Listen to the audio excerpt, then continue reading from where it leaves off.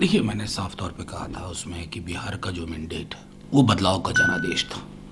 अब जनादेश प्रबंधन जो आखिरी वक्त में हुआ, उसके बारे में मुझे कोई टिप्पणी नहीं कर रही है, करनी है।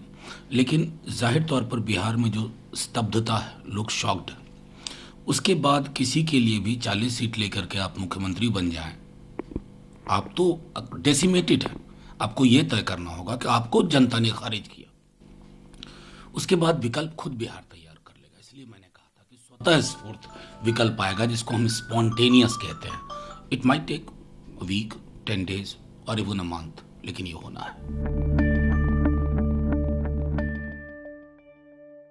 अड़ी सोमवार से शुक्रवार शाम छह बजे, सिर्फ़ टीवी नाइन भारतवर्ष पर।